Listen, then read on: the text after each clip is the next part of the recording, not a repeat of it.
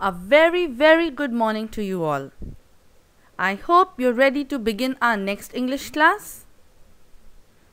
In our previous class, we learnt about what is a noun and two important types of noun that is proper noun and common noun. Today we are going to discuss about collective nouns which is also a type of noun.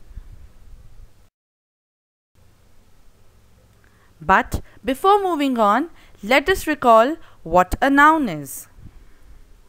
A noun is a name of a person, place, animal, thing, feeling or an idea. What is a collective noun? Collective noun is a word that names a group of people, animals or things. For example, team, litter, bunch. Collective nouns are the naming words that denote or represent collections or groups of persons, places, things, animals, etc. These are basically collections of similar individuals or objects considered as one complete whole we can count the individual members of the group, but we usually think of the group as a whole. Therefore, a collective noun is a noun that is singular in form but refers to a group.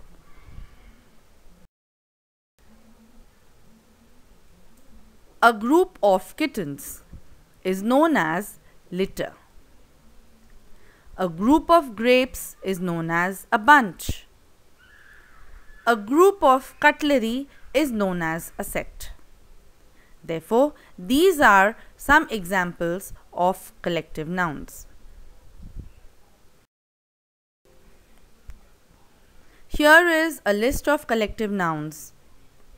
Group of persons put together have been given specific names. For example, a group of musicians is known as a band. A group of students is known as a class. And a group of players is known as a team. A group of ants is known as army. A group of sheep or a collection of sheep or many sheep put together as a whole are known as a flock. And a group of wolves is known as a pack. So we say a pack of wolves. Pack here is the collective noun. When you have similar kinds of bushes together, we call it a clump, a clump of bushes. When you put together flowers, a collection of flowers, you call it a bouquet, a bouquet of flowers. And when you talk about many stars as a whole, a group of stars. You call it a galaxy. Let us look at some examples. He plucked a bunch of bananas. Take out a pack of cards. I saw a group of girls standing there. You will find the set of tools in the drawer. We saw a team of cricketers at the airport. They saw a pride of lions in the forest. A flock, or you may also call it a flight of birds, flew high in the sky. The farmer has a herd of cattle on his farm. Let us discuss about the use of collective nouns. Collective nouns can be both singular and plural. Let us consider this example.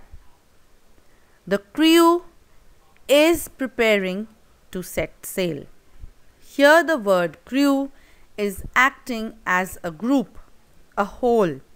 Therefore, we consider it as one unit and use a singular verb is along with that. The second example. The crew have different kinds of tools to fix the ship. Here we are talking about the people in the group which are considered individually and therefore we use a plural verb with that because we are considering individual elements of the group crew. I hope this makes it clear how to use a collective noun as both singular and plural.